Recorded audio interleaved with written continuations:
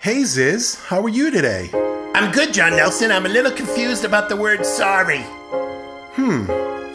Well, we can always sing a song about it. That sounds really good. Why don't we sing?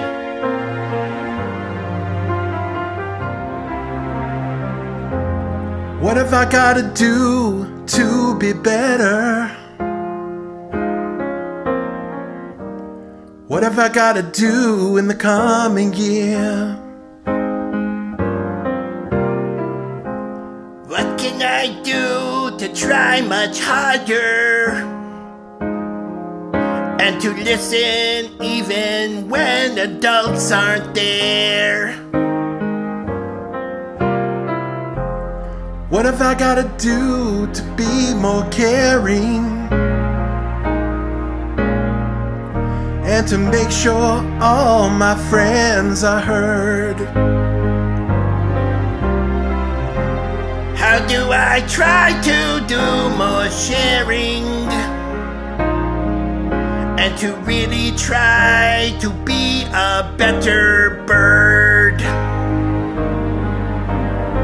I get sad, so mad. It's a sad, sad situation. And it's getting more and more absurd. How about you, Ziz? Get sad, so mad. Why can't we talk it over? On Yom Kippur, you see, sorry seems to be the hardest word. Hey Ziz, I hope you learned some things today about teshuva and saying you're sorry.